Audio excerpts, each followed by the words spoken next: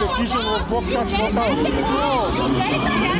Sayı tekrarı istiyor Rimalo İman. O hayır sayının üstünde olması lazım. Blok teması var düdüğü çaldı çünkü. Blok teması topta dışarıda olduğuna göre sayı milli takımımızın.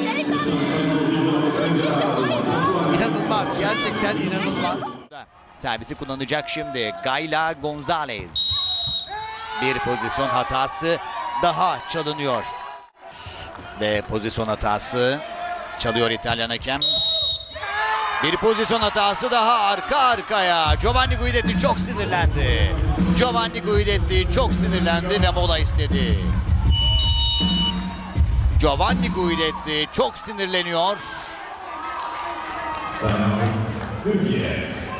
Buna çalınmaması gerekiyor.